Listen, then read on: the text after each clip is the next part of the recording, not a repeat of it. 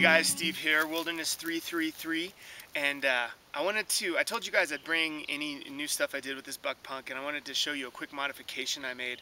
If you remember, you know, if you've uh, seen my review on it, if you haven't, you can go to my channel, I might annotate it at the bottom of this video.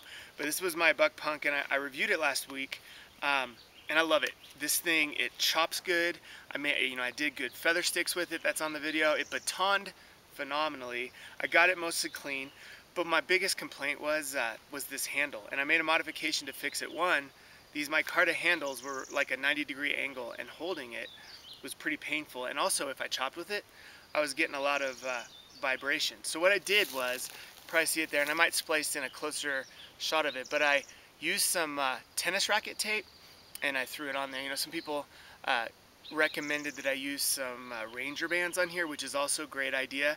When I went to do that, my Ranger bands were too big and I would have had to buy an inner tube until I find one cheap. Um, you know, three of these little handles was $3.39 at Target, so that was a real cheap fix. And it still looks pretty cool.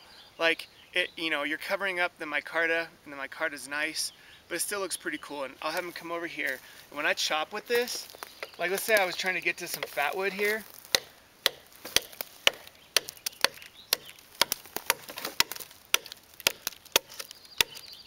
obviously chopping really good. That was never in question, but didn't hurt my hand at all. The, this is totally softening the blow.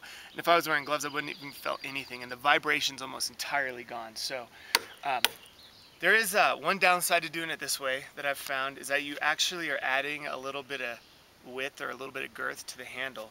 So when, uh, when I try to snap this in to the sheath, it's, uh, it's still doable, but it takes some work. Like I kind of have to stretch it to get it in there. It's not working right now, but it does work. Yeah, so you get it. But, uh, you know, if you're moving in and out in the field, that's kind of a problem. You can tighten this down. And one of the things I don't love about this that I'd add to it is uh, the plastic holder in here does not provide any tension for the knife at all. It falls right out. And I, I've seen on other reviews that you can take stuff like this out and shape it, but I don't see how this one's going to come out. So it's kind of a drawback of the sheath. It just kind of falls right out. And since I added this, just a little bit harder to snap it. I could easily cinch that down. Not a big deal, but you know, this isn't the perfect solution, but it does handle the knife doing well. Just a real simple, cheap modification to the Buck Punk that, man, just improved this thing a ton. It, it's just a it's just a better grip. I like it a lot. So I think that's how I'll be using it from now on. So that's uh, my quick little mod on the Buck Punk. Hope you enjoy it. Hope it's helpful. Thanks for watching, guys.